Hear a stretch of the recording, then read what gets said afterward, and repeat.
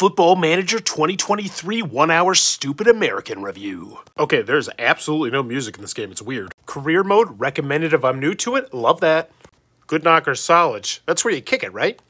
I will lead the mighty colon. So you play as the GM of a soccer team, and you're not only dictating how they play and what position they play, but also you can do coaching. Sub people in and do tactics and whatnot. And then you watch the game play out.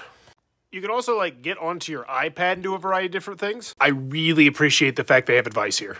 The iPad also has a wide variety of other information to analyze. You can even see the emotions of your players. Going through a game doesn't seem to take that long either as you speed through it really fast. Oh, you only see the highlights. That's clever.